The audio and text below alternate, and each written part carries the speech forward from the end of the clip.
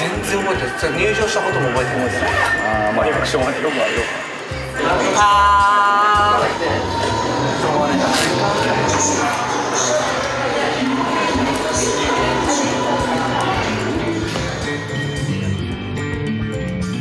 日本人でただ一人 UFC5 連勝を成し遂げた男打倒堀口浩二を掲げまた一人元 UFC ファイターが大臣に乗り込んできました。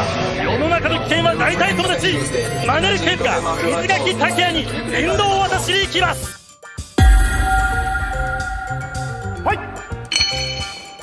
さあ始まりました。バンタム級戦線今激戦階級と言われている階級の戦いです。水垣そしてケープの一戦打倒堀口に照準を絞ったということで、はい。まあ、この雷神また面白くなると思うんですね。そうですね。のまず第一戦にこのマネル・ケープえー続々する方ですね、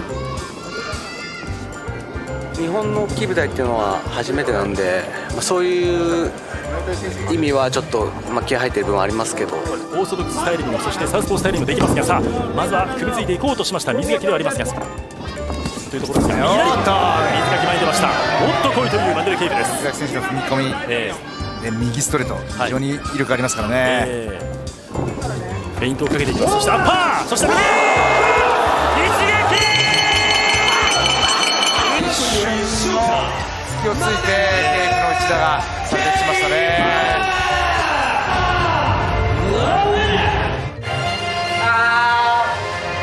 ずっといいペースでやったんだけど本当一発だけもらってました。よかったよ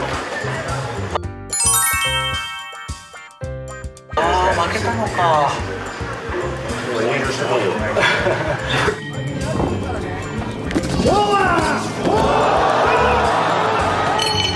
Sem dúvidas, já é a segunda vez que eu tenho a melhor performance. É o próximo aí, o próximo tem que ser pelo cinturão. Não tem, outro, não tem outra luta que faça sentido para além do cinturão.